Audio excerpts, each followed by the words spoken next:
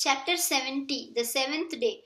Duryodhana, wounded all over and suffering greatly, went to Bhishma and said, The battle had been going against us every day. Our formations are broken and our warriors are being slain in large numbers.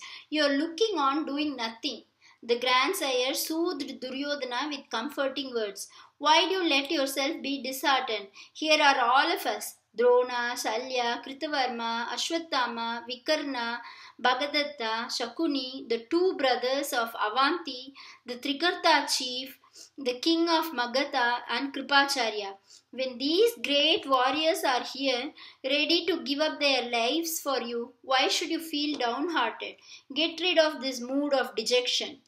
Seeing, saying this, he issued orders for the day. See there, the grandsire said to Duryodhana, these thousands of cars, horses, and horsemen, great war elephants, and those armed foot soldiers from various kingdoms are all ready to fight for you. With this fine army, you can vanquish even the gods. Fear not. Thus, cheering up the dejected Duryodhana, he gave him a healing balm for his wounds. Duryodhana rubbed it over his numerous wounds and felt relieved.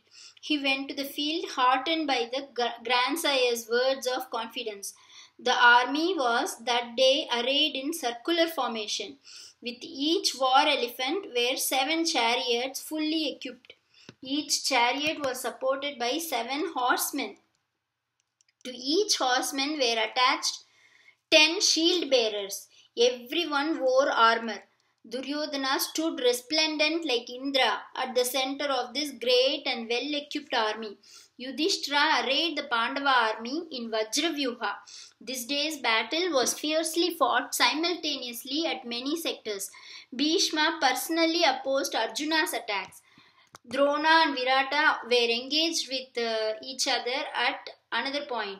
Shikantin and Ashwatthama fought a big battle at another sector. Duryodhana and Drishtadyumna fought with each other at yet another point. Nakula and Sahadeva attacked their uncle Shalya.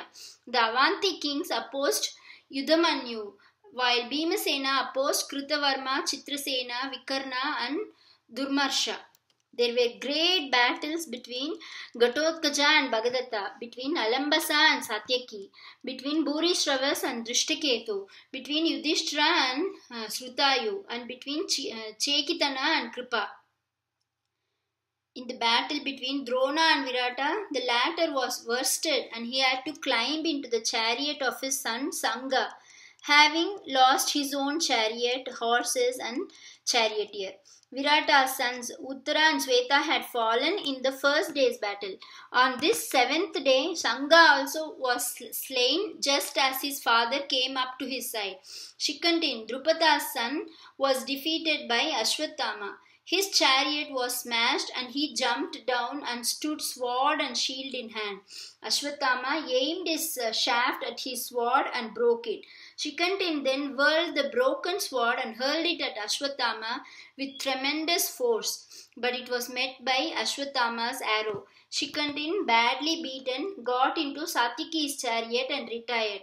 In the fight between Satyaki and Alambasa, the former had the worst of it at first but later recovered ground and Alambasa had to flee.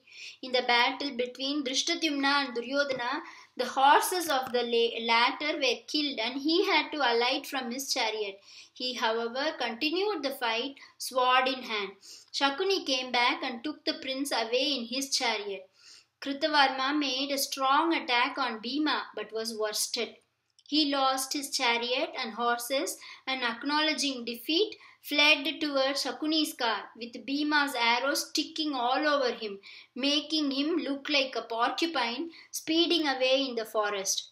Vinda and Anuvinda of Avanti, Avanti were defeated by Yudhamanyu and their armies were completely destroyed. Bhagadatta attacked Ghatotkacha and put to flight all his supporters, but alone Ghatotkacha stood and fought bravely, bravely. But in the end, he too had to save himself by flying, which gladdened the whole Kaurava army. Shalya attacked his nephews. Nakula's horses were killed and he had to join his brother in the latter's chariot. Both continued the flight, uh, fight from the same car. Shalya was hit by Sahadeva's arrow and swooned. The charioteer skillfully drove the car away and saved Shalya.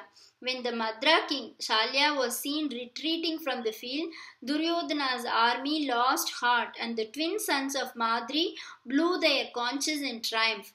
Taking advantage of the situation, they inflicted heavy damage on Shalya's forces. At noon, Yudhishthira led an attack on Srutayu. The latter's well armed arrows intercepted Dharmaputra's missiles, and his armor was pierced and he was severely wounded. Yudhishthira then lost his temper, temper and sent a powerful arrow that pierced uh, Srutayu's breastplate. That day, Yudhishthira was not his normal self and burnt with anger. Srutayu's charioteer and horses were killed, and the chariot was smashed, and he had to flee on foot from the field. This completed the demoralization of uh, Duryodhana, Duryodhana's army. In the attack on Kripa, Chekitana, losing his chariot and charioteer, alighted and attacked Kripa's charioteer and horses with mace in hand and killed them. Kripa also alighted and standing on the ground discharged his arrows. Chekitana was badly hit. He then whirled his mace and hurled it at Kripacharya, but the latter was able to intercept it with his own arrow. Thereupon they closed with each other, sword in hand. Both were wounded and fell on the ground when Bhima came and took Chekitana away in his uh, chariot. Shakuni similarly took wounded Kripa away in his, in his car. 96 arrows of Drishtaketu struck Bhurishravas, and the great warrior was like a sun radiating glory as the arrows, all sticking in his breastplate, shone bright around his radiant face. Even in that condition, he compelled Drishtaketu to admit defeat and retire. Three of Duryodhana's brothers attacked Abhimanyu, who inflicted a heavy defeat on them, but spared their lives because Bhima had sworn to kill them. Thereupon Bhishma attacked Abhimanyu. Arjuna saw this and said to his illustrious charioteer, Krishna, drive the car towards Bhishma. At that moment, the other Pandavas also joined Arjuna, but the grandsire was able to hold his own against all five until the sunset, and the battle was suspended for the day. And the warriors of both sides, weary and wounded, retired to their tents for rest and for having their injuries attended to. After this, for an hour, soft music was played, soothing the warriors to their rest. That hour was spent, says the poet, without a word about war or hatred. It was an hour of heavenly bliss, and it was a glad sight to see. One can see herein what the great lesson of the Mahabharata is.